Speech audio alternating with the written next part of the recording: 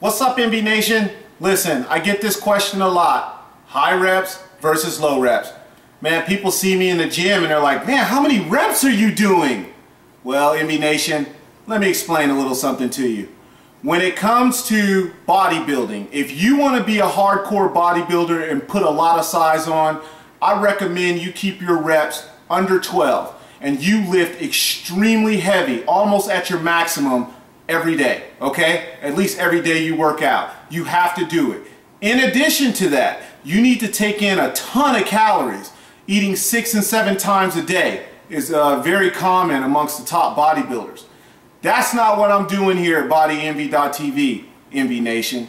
What, I'm, what I am doing personally, and what a lot of you are doing, is we're staying super lean, super fit, with agility, flexibility, and a lot of other things, okay? And with that being said, I like higher reps because it's, it's not as hard on my joints. For years, when I was a natural bodybuilder, man, my joints used to start hurting just because you're pounding such heavy weight every day. Now, with that being said, if you just lift 80% of that weight, I mean, what a difference. You can do more reps.